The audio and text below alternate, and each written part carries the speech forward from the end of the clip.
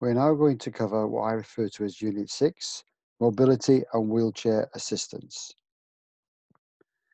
As regards the outcomes, there are four theory outcomes and two assessment outcomes. The theory outcomes, which we're going to cover now on this video, are one, know the regulations designed to assist passengers with a disability in wheelchairs. Two, Describe the different customer impairments and assistance measures that a driver should recognize. Three, know how to match the requirements of customers with a disability with the correct service. Four, know how to provide safe wheelchair assistance to customers who wish to transfer to an accessible vehicle. The two outcomes that you will be assessed on are demonstrate safe wheelchair assistance to passengers with a disability who require entry and exit to and from an accessible vehicle.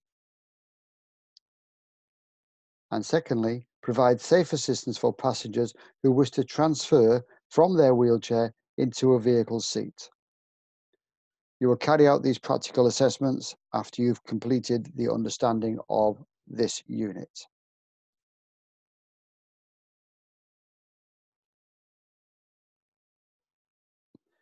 Oh, Outcome one. Know the regulations designed to assist passengers with a disability in wheelchairs. So we're going to have an introduction into this. Some transport users, in other words, your customers, may have little choice in their selection of transport. They include the many customers within the community who may have particular problems in using transport facilities, in particular public transport facilities. This unit emphasises the necessity of ensuring that drivers and support staff recognise customers with disabilities so that they are given the correct help and assistance to complete their journey in comfort and safety. In Unit 3, we mentioned that the Equality Act brought together in one act a number of different pieces of legislation, including the offences of discrimination contained within the Equal Opportunities Act 1995.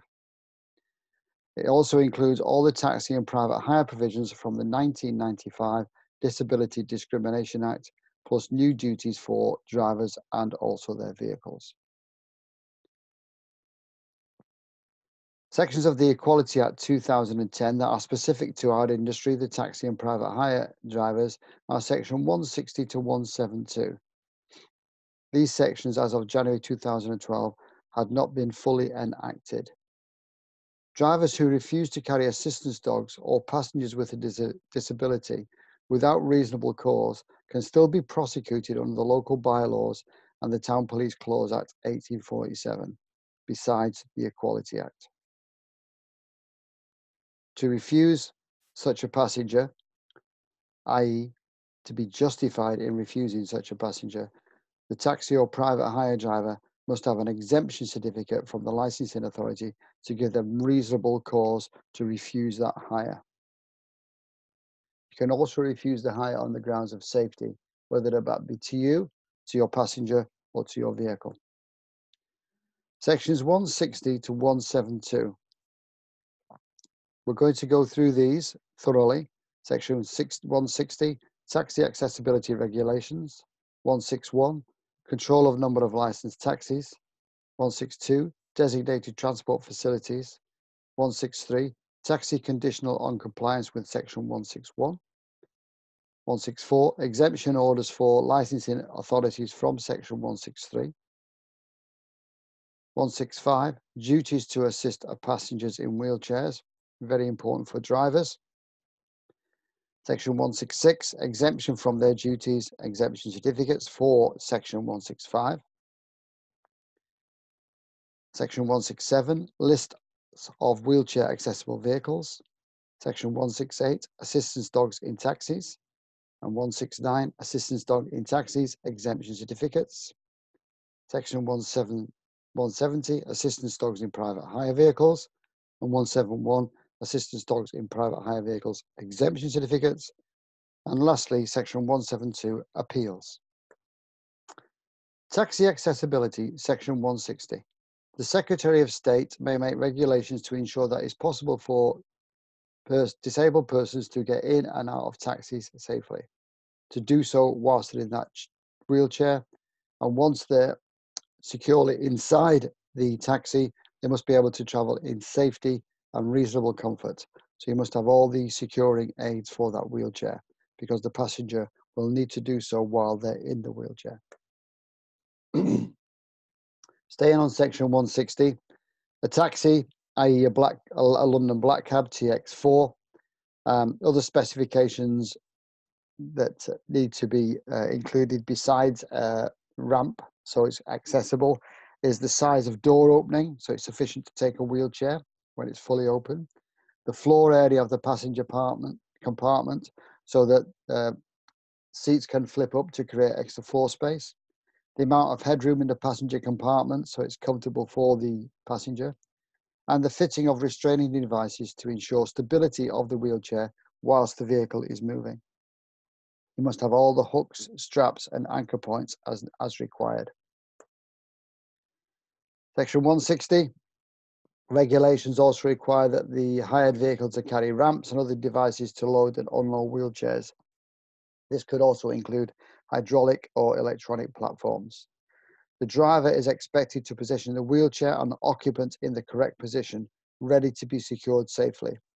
In the London cab, you can see from the caption there that the wheelchair would always face to the rear and it's secured with hooks, straps and clamps. Any driver or person who commits an offence by failing to comply or conform with any of these regulations is, a is liable to a fine not exceeding level three on the standard scale, £1,000. Moving on to section 161. An application for a Hackney carriage licence under the Town Police Clauses Act will be subject to 161 of the Equality Act. So a licensing authorities that maintain a, a, limit in the number of licenses under the Transport Act 1985 have to take into consideration the number of wheelchair accessible vehicles in their controlled area, in their licensing authority area. In other words, if they are regulated, where Hackney cabs are limited, they have to consider the needs of any disabled wheelchair bound passengers, customers in their area to establish how many licenses need to be issued. Section 161, when it's enacted fully, uh, the license authority to have a, uh, uh, will require to have a percentage of the taxi fleet as wheelchair accessible. So I'll just give you examples. Could be 10% uh, if a fleet is 250 or, or even 30%. Um, these are just examples. Section 162 should a private hire operator have a franchise agreement with a transport hub, such as an airport or a rail station or even a bus station, they are required to meet the same standard of wheelchair accessibility as outlined in section 161 to 167 of the Equality Act. In other words, should they have that franchise at a transport hub, they will need to have a wheelchair accessible vehicle available at all times when services are running so that any disabled passengers coming from the train station or airport, etc., has a wheelchair accessible vehicle available to them. Section 163, taxi license condition on compliance with the taxi accessibility regulations. Unless a Hackney carriage license has been enforced for a period of 28 days preceding the application, all new applicants will have to provide wheelchair accessible vehicle. This is for taxis, black cabs, the this date of implementation could differ between different areas and localities. Section 164. The Minister may provide licensing authorities with the option of applying for an exemption order, exempting the authority from Section 163. This will require consultation. So, consultation can be with local advisory groups that speak on behalf of disabled people, consumer groups such as care homes, sheltered housing associations, voluntary sector, could also be um, the local GPs. The licensing authority must publish in the local newspaper its proposals for how many wheelchair accessible vehicles they intend to have within their area. So, Staying on the same theme, a licensing authority can apply for an exemption order if it believes that complying with the accessibility requirements and the associated cost to the drivers or owners of purchasing such accessible vehicles, the drivers would transfer from being Hackney carriage drivers to private hire drivers. When exemption orders are granted, it may be uh, as a safety requirement, swivel feet, seats need to be fitted, even in saloon cars that are being used for private hire. Section 165. Your duties as a driver to assist passengers in wheelchairs. Section 165 places a duty on drivers of wheelchair accessible vehicles, whether that be taxis or private hire.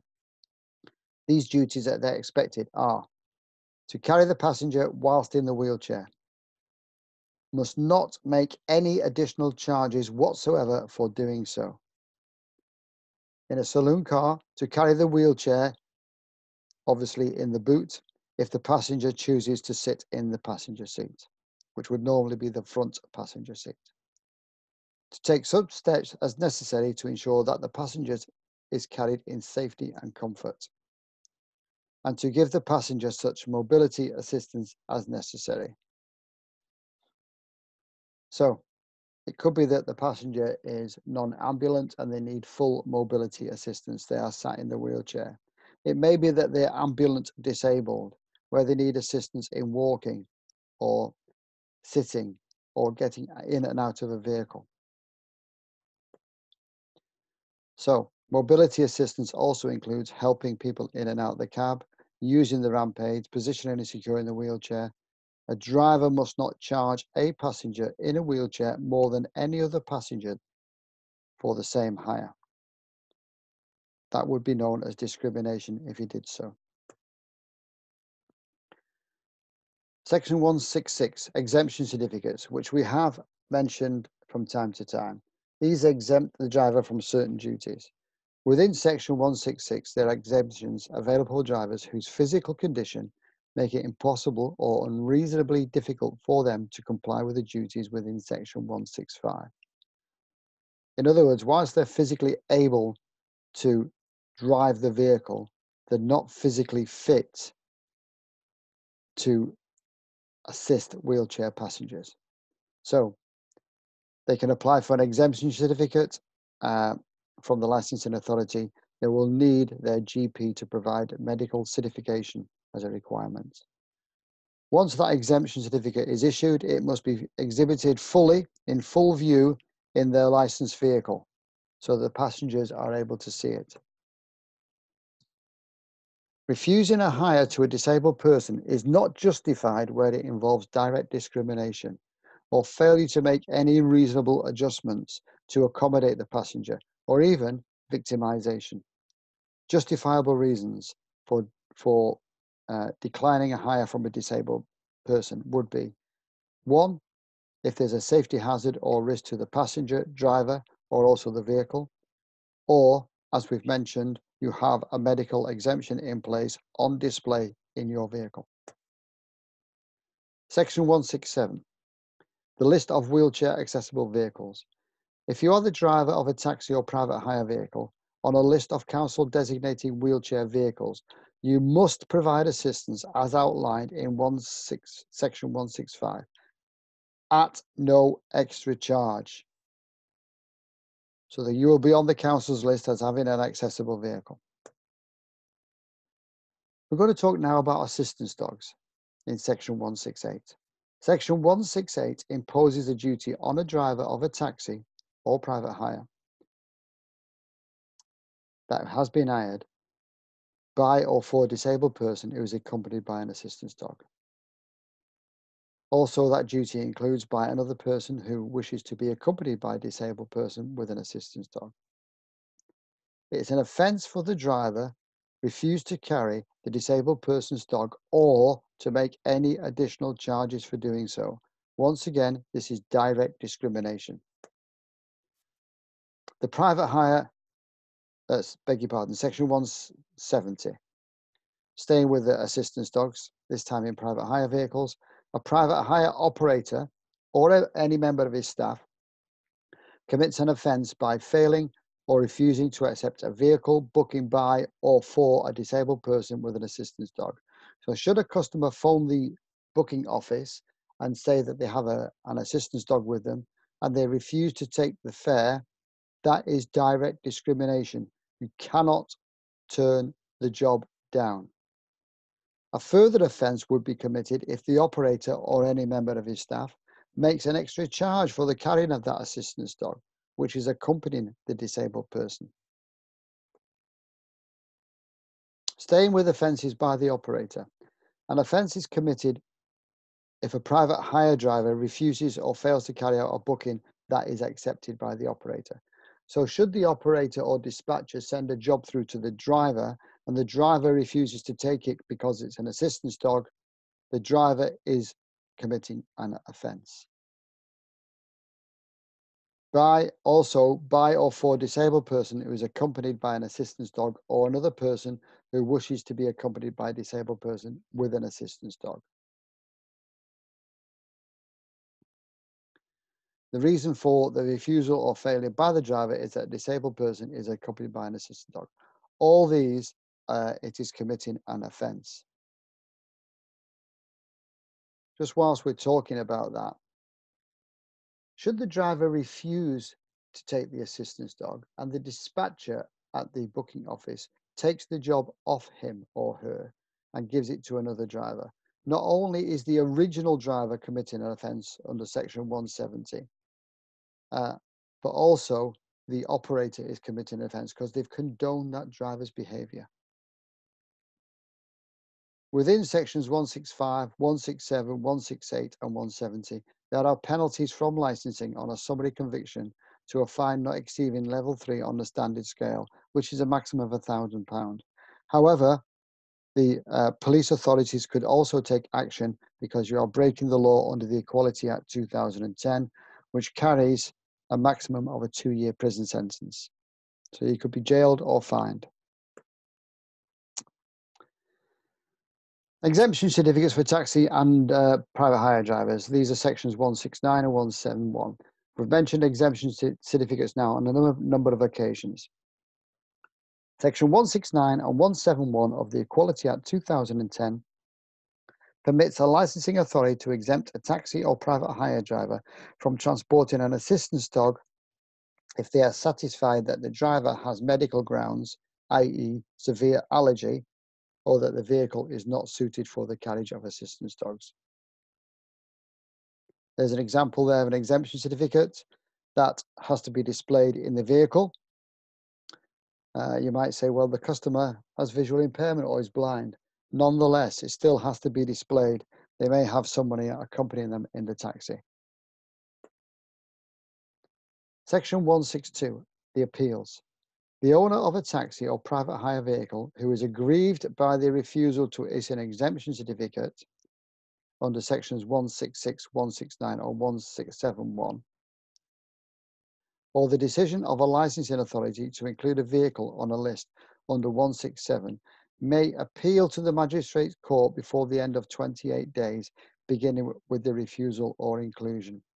So the refusal, you should have medical evidence of your of your GP which would basically nullify the fact they can re- that they could refuse you, or the inclusion, as long as your vehicle is suitable, you would appeal. Outcome two, describing the different customer impairments and the assistance measures that a driver should recognize. Recognize when passengers may need assistance, assistance dogs, and types of impairment. Recognize when passengers may need assistance. We tend to use, in general, the term disability incorrectly.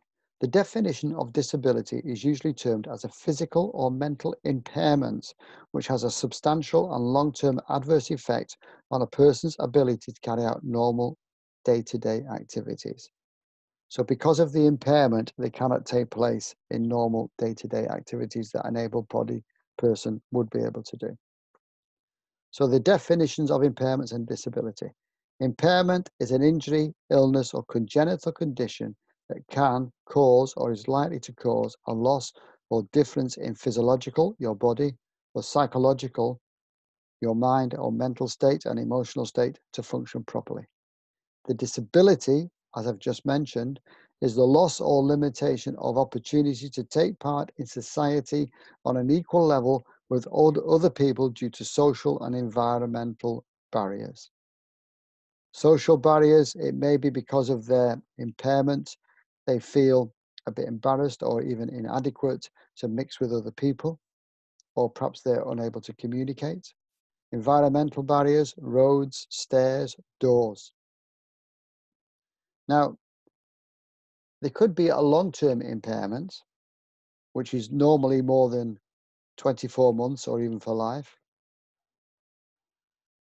There could be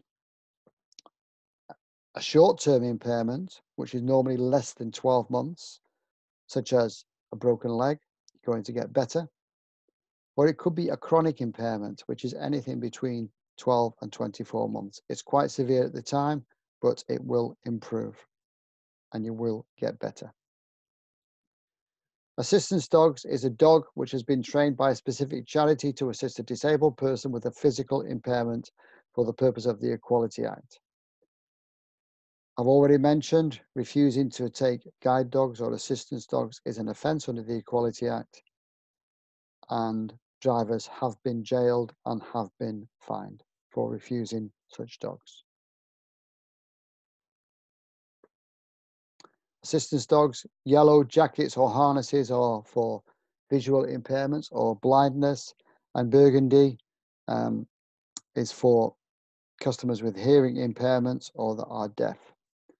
There are two other jackets as well. A red jacket is for type 1 diabetes, and a blue jacket is for epilepsy.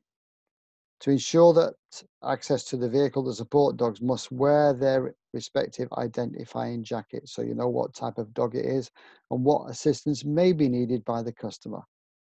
Also, upon request, the owners must show their environmental health and identification card. This proves that the dog has been specifically trained by a specific charity. Types of impairments. Physiological, your body mobility issues or ambulant disabled, unable to walk or move about properly, motor skills, lack of coordination, hearing loss and deafness, blindness or partially sighted, injuries, whether that be temporary or long term, such as an amputation, disfigurement, uh, which could cause social barriers. So it could be burns, whether that be through uh, birth defects or through accidents. Psychological, uh, to be fair, there's too many to mention, but basically learning difficulties, mental health problems, uh, autism, Down syndrome. Um, to understand the needs of a disabled uh, person with psychological problems, you may need to get advice from the carer or parent or guardian on the caption there, it's fairly obvious that that poor chap is blind. He has, however, got red rings on a white stick. This would indicate not only is he blind, but also deaf. At this stage of the presentation, just take five seconds or so to close your eyes and imagine what that chap's world is like.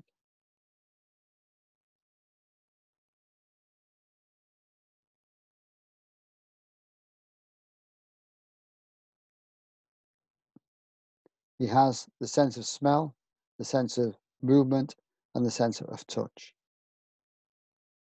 You need to understand that people with impairments will need assistance.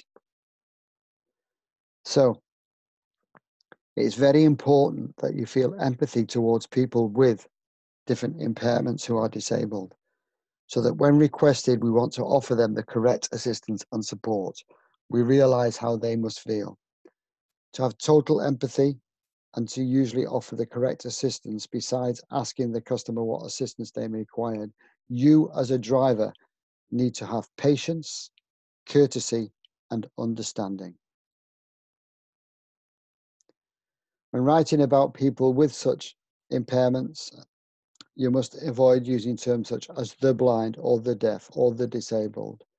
It does not reflect the individuality or equality or dignity of that person who has the uh, impairment. So different types of impairment. Frontline staff, so carers, drivers, should always remain alert to the customer's capabilities, how able they are. You must be vigilant and recognize when to ask the customer if assistance is required. So when you see a customer with a walking aid, whether that be a frame or a stick or a crutch, ask them, do they need any assistance? Hearing aids. Now, hearing aids can be very discreet. You might not be aware that the person is actually wearing a hearing aid. Push chairs, baby buggies, always ask the, the young mum, do they need assistance? Plaster casts or restrictive boots, etc., when someone has had a, an operation because they've got a breakage of a limb. Wheelchair customers, assistance dogs, mannerisms and speech difficulties, patience, courtesy, understanding. It is not condescending to repeat something back to the customer. What you don't want is any misunderstanding. If you repeat something back to the customer, they can confirm it with a nod, a yes, or a thumbs up. Larger people. It may be unsafe to take someone that is particularly obese into the vehicle because they can't use the seatbelt properly or even sit in the chair safely. Or if they're in a wheelchair, you can't push them up the ramp or help them stand up out of that wheelchair as you may cause injury to yourself. As I said about hearing aids, it may be the very subtle. They could have a cochlear implant. Remain patient and maintain the dignity for the deaf and the hard of hearing. So hidden, hidden impairments, definitely type 1 diabetes, definitely epilepsy, but it could also be a hearing aid. Whilst we're talking about type 1 diabetes, the passenger, whilst they're in the car, may require an injection of insulin and they may require to do so in your vehicle. Stop the vehicle whilst they um, do the injection and ask them to take the used cartridge away with them. They will normally have a little yellow sharps box on their person.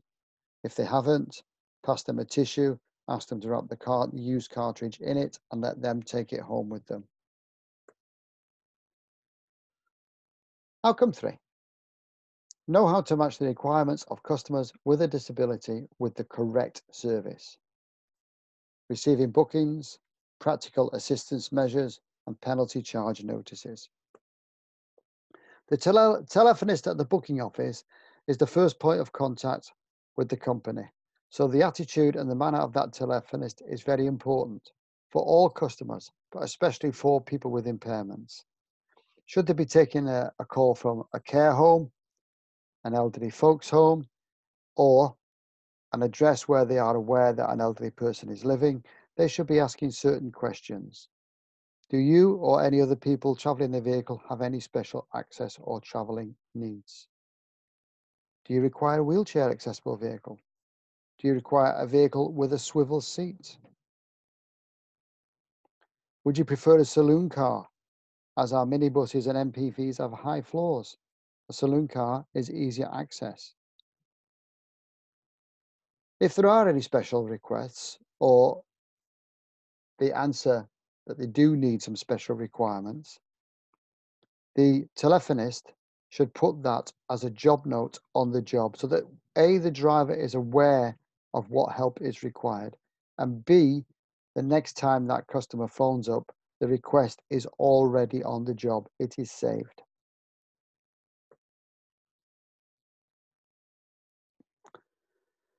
For deaf people, uh, text messaging and callback is a, is a, really good idea.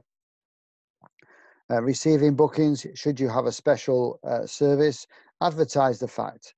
Uh, it may be you've got certain accessible vehicles or your driver's been trained or you've got a website. Any flyers should be typed in dark, bold, uh, black typeface on a yellow background. As I said, if you have a website, advertise the fact that you have certain services. A lot of people with impairments will spend a lot of time in front of their computer screens. It's 24 hours a day, 365 days a year. It's easy to update and make special offers. It's easy for customers to book with you and do business and request certain types of vehicle. Logos on your vehicles. Make sure you provide the correct logos on printed material, websites, equipment, and vehicles to alert your customer of your facilities. Wheelchair accessible vehicles. If it's not a London black cab, that symbol should be displayed. And if you have an induction loop for the hard of hearing in the vehicle, that vehicle should be displayed. That symbol should be displayed. Blind or partially sighted customers. The driver should always listen to what the customer says. Take instructions from the customer.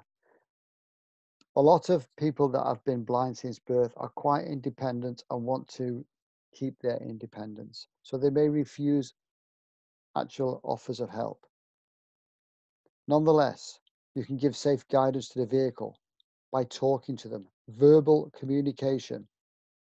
Just be careful, sir. The pavement's a bit uneven. Watch the curb, it's a little bit high. Just step to your right, there's some wet leaves.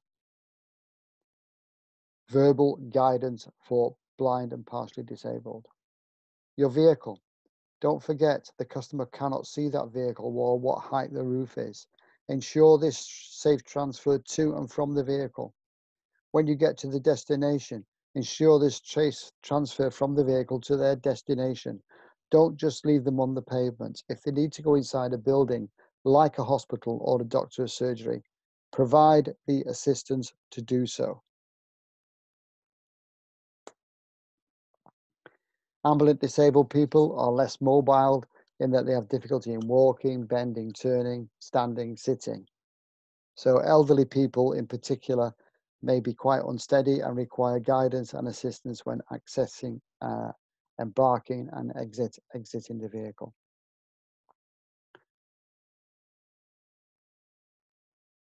Always ask permission before you touch or attempt to physically guide a customer to the vehicle.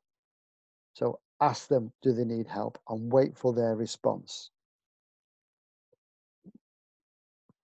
I mentioned learning difficulties. You may need to take advice from the carers, the parent, or the guardians. With the customer themselves, please be very patient. Don't forget patience, courtesy, and understanding.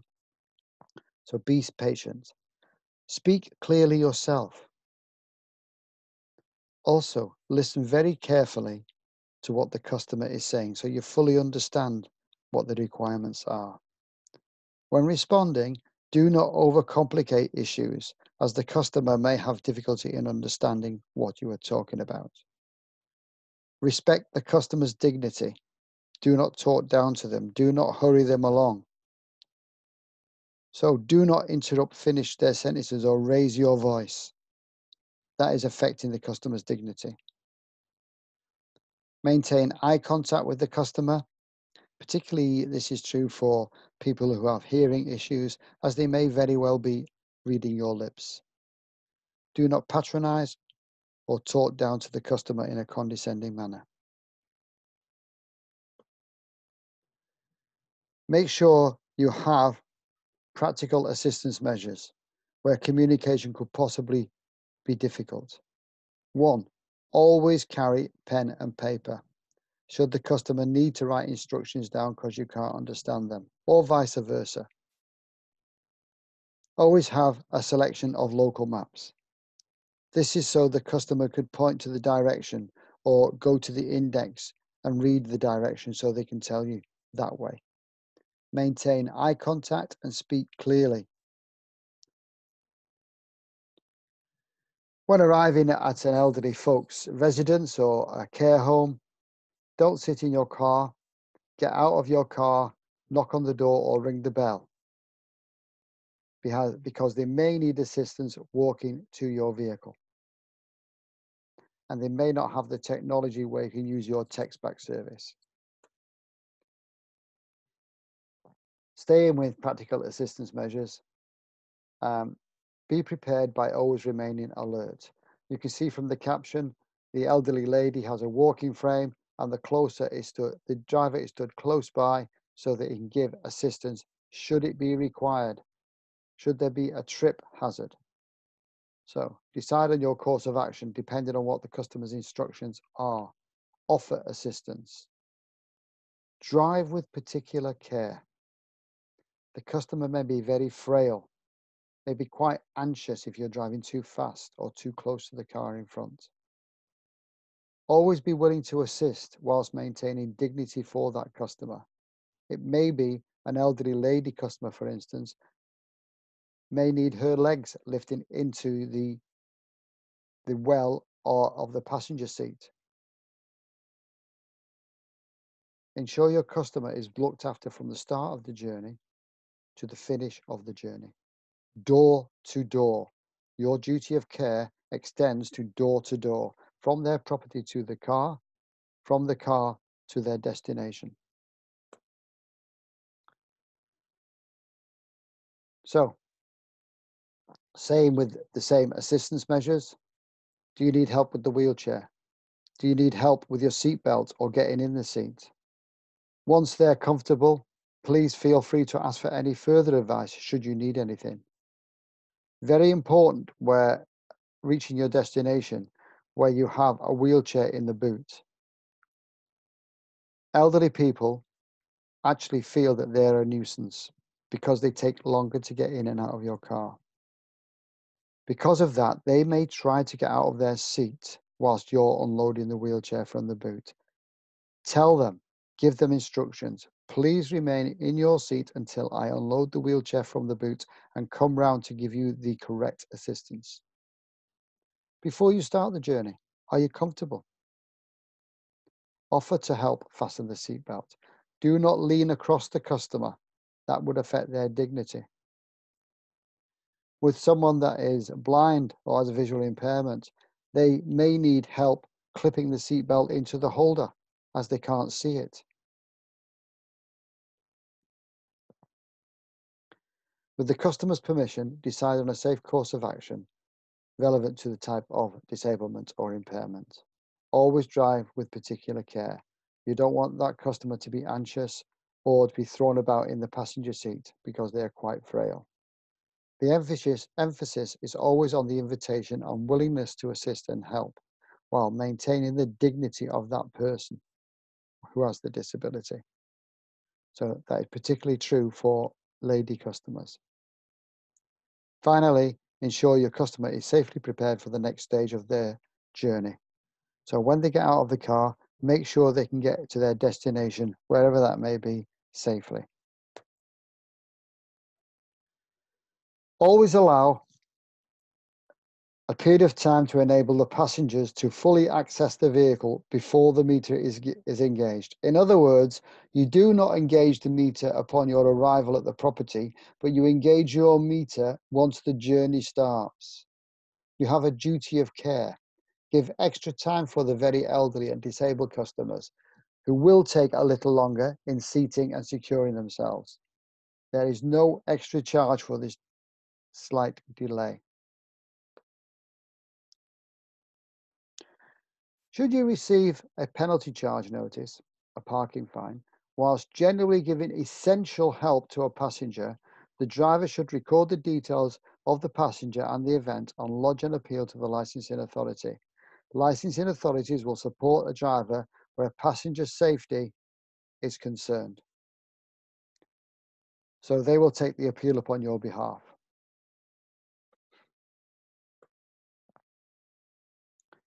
Know how to provide safe wheelchair assistance to customers who wish to transfer to an accessible vehicle. Specialist equipment, ramps or platforms for wheelchair access. Specialist or new vehicle design, swivel seats, low floors, so there's no big step up, designating seating space, special seats for where the wheelchair can be fitted high-vis grab handles for the visually impaired, non-slip handrails, bell pushes to alert the driver, highlighted step edges, black and white stripes, black and yellow stripes. Dayglow guest destination information boards and iPads. These can be used as greetings at transport hubs such as airports and train stations.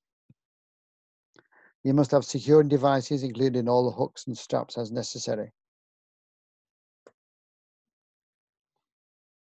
Visual and tactile aids.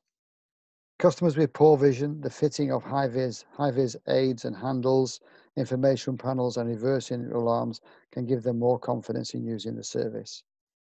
So people of hard of hearing, um, a lot of induction loops, which we just mentioned earlier, are fitted as standard now to the new London taxis. Also available in kit form that you could um, install in your own vehicle. A bonus for customers with hearing deficit. By adjusting their hearing aid to the T position, they should be able to hear the driver talk naturally and understand the full conversation. Within a TX4 London cab, when the red light is on in the rear of the cab, it indicates that the induction loop system is operational and you could talk and have a clear conversation with the driver, cutting out any peripheral noise. Swivel seats, which uh, are used a lot in the London TX4 cabs, are also available to be fitted specially for private hire saloon cars. These are very useful for customers who are ambulant disabled, have difficult with mobility issues. When in use, the driver should ensure that the seat is correctly locked in the correct position. You do not want any movement of that seat in transit.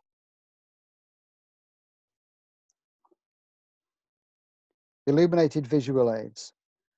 To help visually impaired customers at pickup points such as airports and train stations, the driver could identify themselves and the client by using a small illuminated brightboard or iPad displaying the customer's name and the private hire company. Obviously, you need to make sure these are charged up. Um, with the Brightboard, there's a rechargeable electric power pack. It's actually integrated into the board. With the iPad, that's straightforward. You make sure it's fully charged before you start your shift. The name can be clearly illuminated when light conditions are poor. Normally, you would set it um, as a yellow background with black bold lettering. Safe wheelchair assistance to customers who wish to transfer to an accessible vehicle.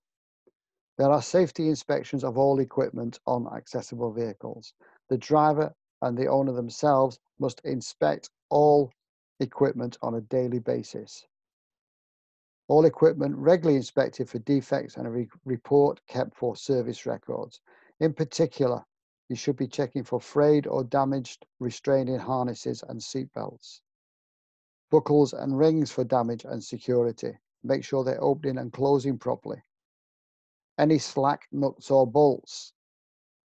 It's no good securing the wheelchair if the nut holding it on the floor anchor is loose. Any operational faults in the locking devices where the belt locks into the holder or holster. Make sure it is clipping in properly and can be released quickly in case of an emergency. With restraining harnesses properly tensioned in a V position,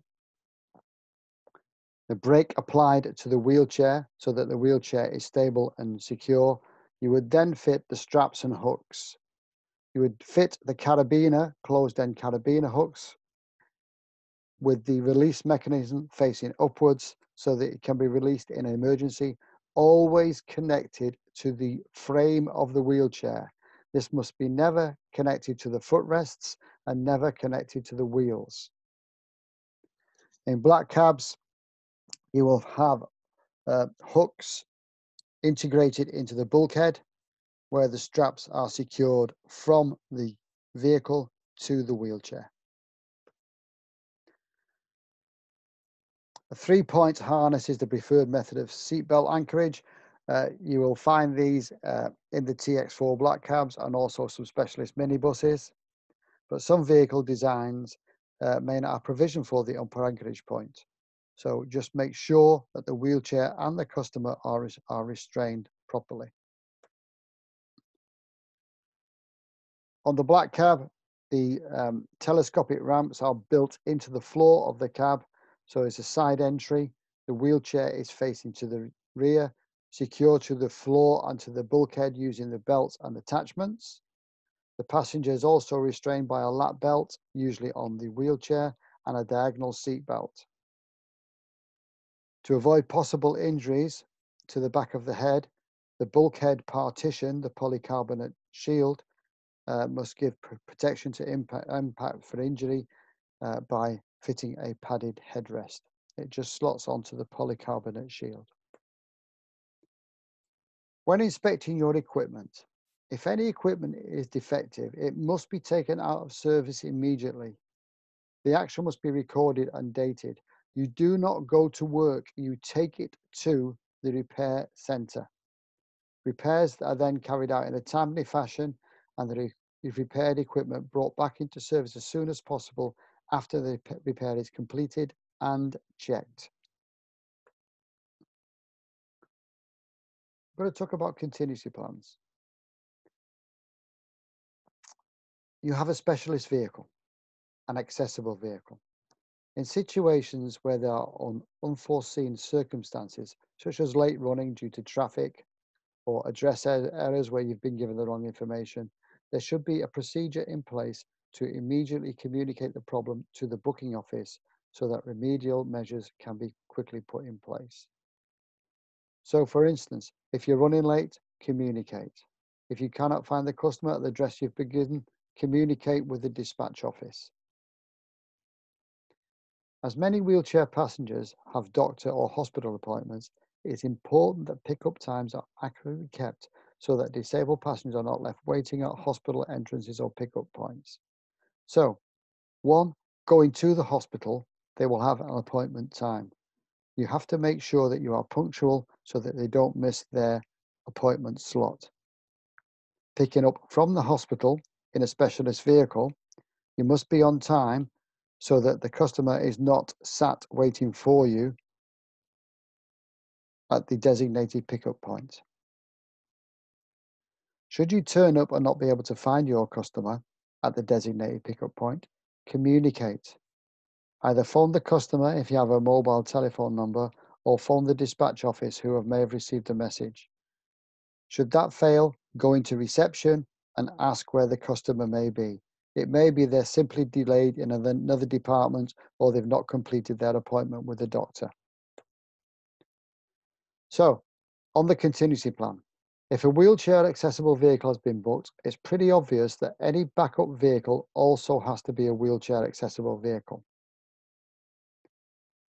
Always take care when loading and unloading wheelchairs and also their occupants around hospital entrances it does require patience, courtesy, and consideration, not just from you, but from other motorists. You must never, ever block entry and exit points for emergency vehicles such as ambulances.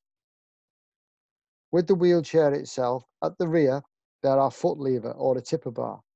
You just press your foot down on the foot lever, which will raise the wheelchair over any rough surfaces or hidden or high edges. If you've got hydraulic or electronic lifting gear, such as platforms or hooks, these have to be tested under LOLER, Lifting Operations and Lifting Equipment Regulations 1998. Safety inspections are required on a regular basis. So, deploying, securing and stowing a wheelchair on the ramp. When transferring a passenger from a wheelchair to the vehicle, you must carry out a risk assessment. So this is getting into a saloon car. Ask them questions. Question one, have you got the ability to transfer, transfer yourself painlessly, efforts, effortlessly, and safely into the vehicle? Question two, are you able to bear your own weight when rising from the wheelchair and you're now in a standing position? Should the answer be yes to both of these questions, which is the answer hopefully you're looking for, what you have to do to assist in the transfer is apply the wheelchair brakes so it will not move.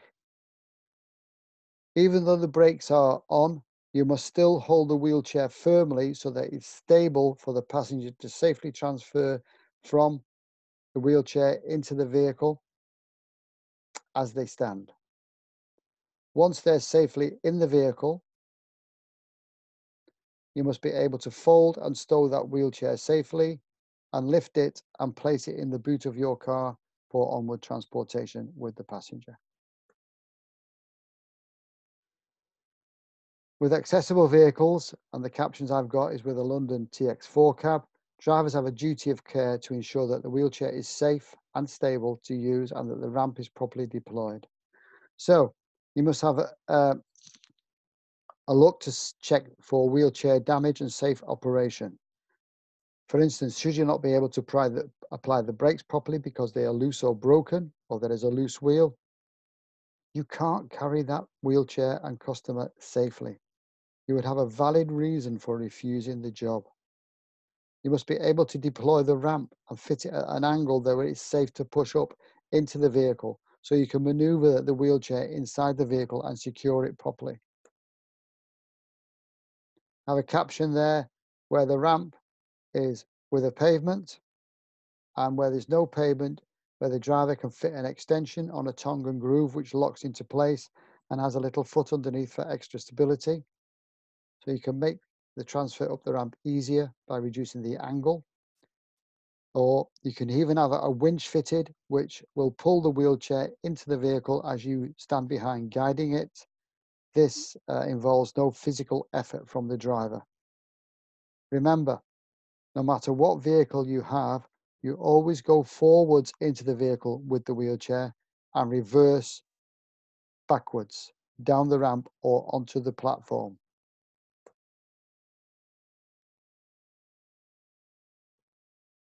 On the journey itself, you would be sat in the front seat of your vehicle, obviously to drive it, whilst the customer, who may be unaccompanied, will be in the rear.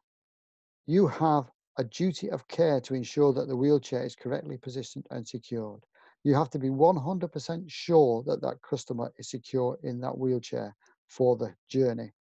So you must be able to position the wheelchair correctly facing to the rear and attach the restraining belt with the carabiner hooks to the wheelchair frame with the release mechanism facing facing outwards for easy accessibility in an emergency.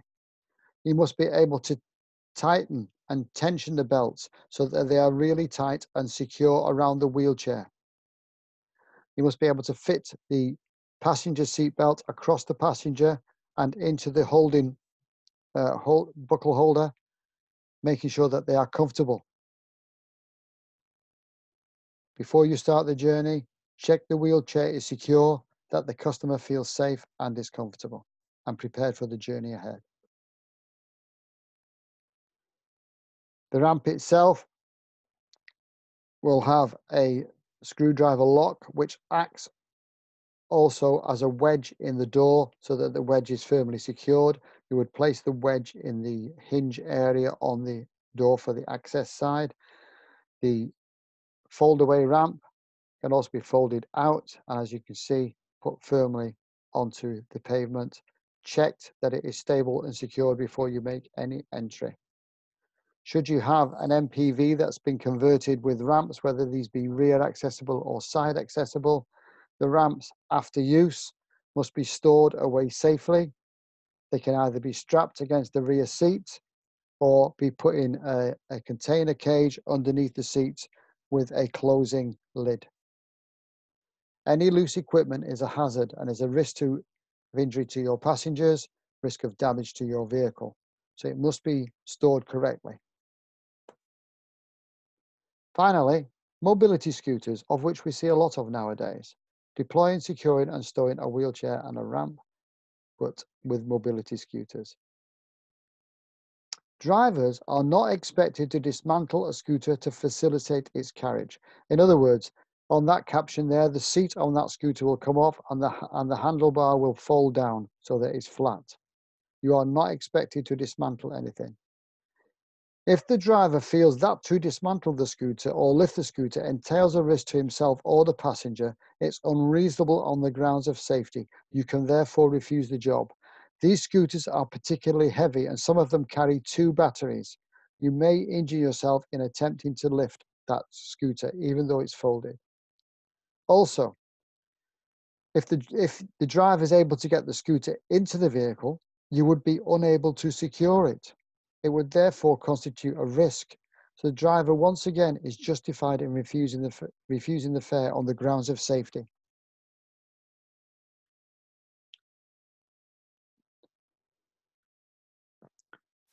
The next two outcomes are both practical assessments. One is demonstrate safe wheelchair assistance to passengers with a disability who require entry and exit to and from an accessible vehicle.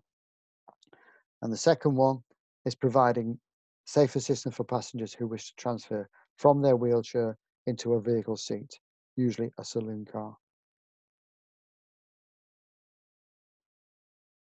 That concludes Unit 6. Thank you. Make sure you have a full understanding and good luck with your assessments on the practical outcomes.